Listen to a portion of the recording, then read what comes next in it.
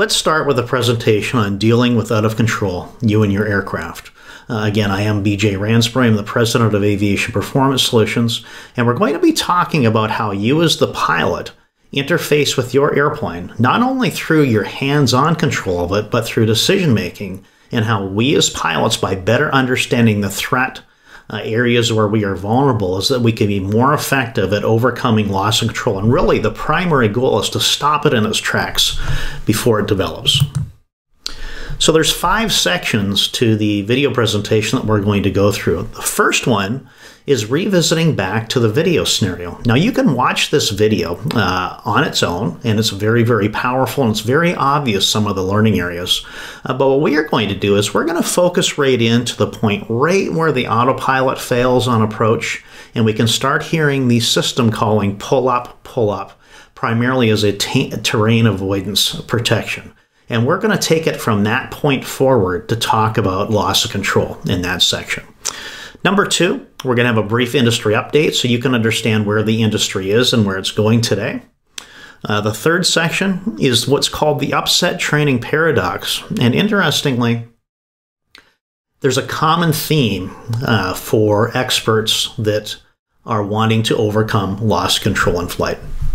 There's a few approaches, but primarily it boils down to this is that there's the camp that focuses on prevention and there's the camp that focuses on recovery. Now, what the upset training paradox is, is it's not at all clear where prevention ends and recovery begins. In fact, a full solution addresses not only prevention and recovery, but also awareness. In fact, there's a full spectrum or layers of mitigation associated with loss control that starts with your knowledge, not only of your airplane, but the environment and the areas and threats and causes of airplane upsets, which lead to loss control for you to be able to overcome. And so we're going to talk about that that paradox between where prevention ends and recovery be begins. You would think it would be a very clear distinction, but it's not at all, and we're going to talk about that. Uh, number four, errors and attitudes. Uh, in other words, how can we survive a loss of control in flight event when we ourselves as human beings have human factors that in many ways work against us being effective to overcome loss of control in flight? The final section is now that we've had our opportunity, we could have prepared better, we could have made better decisions. It could have been a situation where leading up to loss of control and flight event where, yes, through better distraction management or pilot monitoring in a cruise situation, that we should have overcome the event. The problem with loss of control is once the airplane upset happens, which is a precursor to loss of control in flight, it doesn't really matter how you got there and what you shoulda, coulda, woulda done had you been looking at this as an academic or looking at a video or sitting in a classroom, you were there in the airplane real time in a situation where the airplane is on its way to out of control. And how do we snap out of whatever got us there to take effective action? And that will be the last section of the presentation, which I think you're going to find very interesting. So, loss of control in flight. And you can see the question is it, it's much better now, right? Well, you would think that after all these years. In fact, loss of control in flight and controlled flight and terrain have been going back and forth since the beginning of recording aviation accidents by the Boeing Company in 1959. And you would think now that we'd be much better at addressing loss of control in flight. Well, the problem with loss of control in flight is that there's not really a very easy technological solution. Uh, it's a situation that is very often pilot centric, although pilots are not the only cause of loss of control. There's other factors which we're going to talk about. But the issue is that the statistic is prevalent almost to the point where we get comfortable with the statistics. But here's the problem is it's not getting better. Let's take a look at the statistics from uh, 2005 through 2014. So the report that was issued that was analyzed during the NBAA Safety Committee presentation that we gave in the single pilot safety stand down in 2015. So here it is. Here's the loss of control in flight. And this is for the commercial industry, but that shape, that characteristic shape of the curve with loss control being dominant at the beginning and everything else being, you know, being smaller than contributing to the right is a very common shape irrespective of where you actually look in aviation, whether it's general aviation, whether it's commercial, whether it's business, whether it's instruction, whatever it might be, loss of control in flight is prevalent.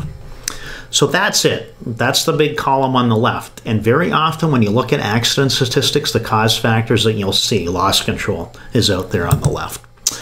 So the problem is, is that it would be fine if we were slowly going down and getting better at it. But when you compare this chart that we're looking at right here with the exact same chart the previous year, that covered the, the time period of 2004 to 2013, we actually see that the number of fatalities associated with loss of control in flight has gone up by 8.5%.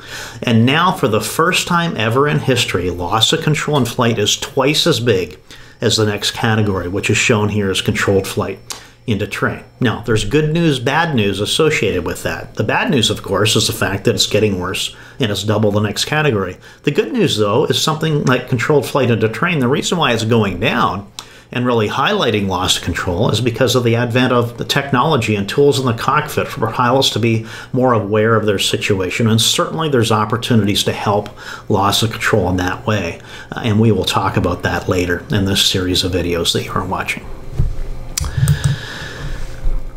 The top three safety focus areas. And this particular one uh, is statistics drawn from ICAO, but the whole point of this, this is different statistics than we saw in the previous chart. But let's go ahead and take a look at a few things. You see how the orange is the number of fatalities, and the blue is the number of accidents, and correction, uh, fatal accidents, and then the dark blue is the number of accidents. Let's take a look at loss of control specifically here. Because when people think about accidents, very often runway excursion or runway safety related scenarios come to the top of their of their thinking, and rightly so. Take a look at the number of accidents in runway safety situations. It is the top one. It's 50% of the accidents right there. And look at the fatal accidents.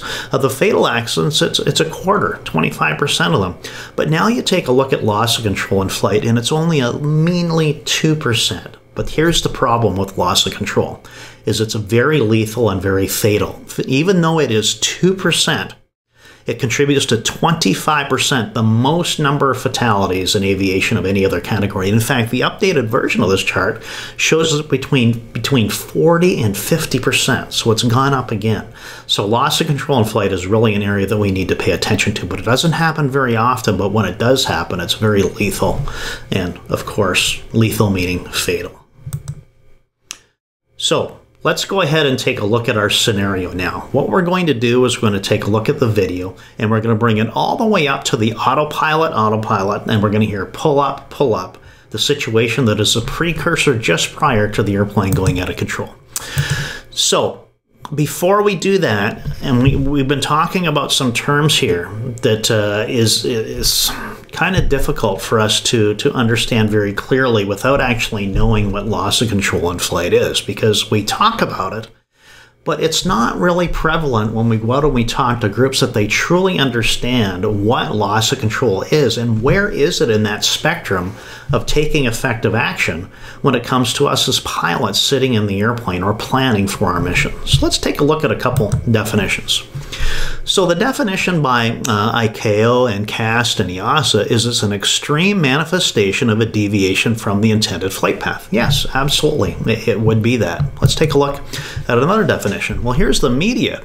It defines it as an adverse flight condition placing an airplane outside of the normal flight envelope with the inability of the pilot to control the airplane. Look at that last part. With an inability of the pilot to control the airplane. So, if we're here to overcome loss of control in flight, would everybody agree that if we wait for loss of control to happen, we've waited far too long? We are not in control anymore. We, as the pilots, need to be able to take action early. The question, of course, is when is that? How do we know that we're on our way to a loss control in flight scenario? What precursor situation or set of conditions helps us to identify that? Well, that's going to be the introduction of the concept called an airplane upset. So, an airplane upset is defined, and this is defined by the Airplane Upset Recovery Training Aid, the FAA, and ICAO all define it the same way. And it's this it says, while specific values vary among airplane models, the following generally describes an upset for aircraft. Okay? Pitch greater than 25 degrees nose up. All right? 25 degrees nose up, 10 degrees nose down, and just 45 degrees aback. Okay, now we would admit as pilots that that is not very severe, but it doesn't matter about the severity. What I want you to think about is think about your day to day operations. Unless you're uh, flying with some type of a law enforcement organization or the military or flying aerobatics, think about when you are flying your airplane from A to B with your family or your passengers or your customers on board the airplane. How often do you intentionally exceed 25 degrees nose up, 10 degrees nose down, and 45 degrees of bank? Likely never. It's very, very rare. But see how it says that they may vary among, uh, among airplane models? Let's say you're in a very high thrust uh, airplane that has a 27 degree nose up pitch attitude. It doesn't mean this doesn't apply. It means that you have to set criteria that are unique to you. So your definition of airplane upset may be 30 degrees nose up because it's a situation which is outside the normal operations of your airplane. The point is, is that you as a pilot need a set of parameters that cues you to start taking effective action to overcome a situation that is unintended. Now remember, exceeding these parameters is unintended. So if you take your airplane out and for some reason you want to do a 60 degree bank turn just to show your family what 2G feels like, well, that's not an airplane upset because it wasn't intentional. It doesn't mean it's the right thing to do or necessarily the safest thing to do, depending on your experience level.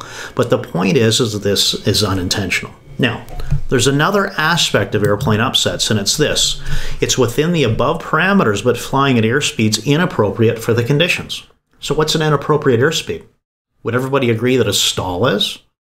Okay. How about slow flight when you don't intend it? Absolutely. How about high speed? What if you're approaching or at VMO or beyond or MMO for jet pilots? Is that an airplane upset? It absolutely is because it's inappropriate for the conditions you're flying in. And again, remember that it's unintentional. It's a situation that happens without your intent to do so. So that is the definition of an airplane upset. So here's the question. Is a stall an airplane upset? It absolutely is because it's an inappropriate airspeed. But what we are going to learn in this presentation that really it's not so much about speed when it comes to stall, even though speed matters is it's more a function of angle of attack, and we're going to talk about that in more detail. So remember, inappropriate speed is just not the stall. It could be uh, unexpected or unintended slow flight or high speed as well. Okay, so why does the airplane upset matter? These conditions as the pilot, that you need to program into your brain when these occur unintentionally, they have to prompt you to say, okay, whatever I was doing before does not matter anymore. I have to focus on getting the airplane back into the heart of the envelope. What is the heart of the envelope? That's for you to decide. Is that five degrees nose up, zero bank? Uh, at uh, L over D max or higher at your speed stable range of airspeed? Or is it simply getting it to less than 25 degrees nose up and 45 degrees of bank? It doesn't really matter other than the fact that you recognize these parameters occurring and you take effective action while you are still in control of the airplane. That's critical. Loss of control is typically a situation where the pilot is no longer in control of the airplane or no longer reliably in control of the airplane. We as pilots have to take effective action way before that. And that's the value and importance of the definition of the airplane upset.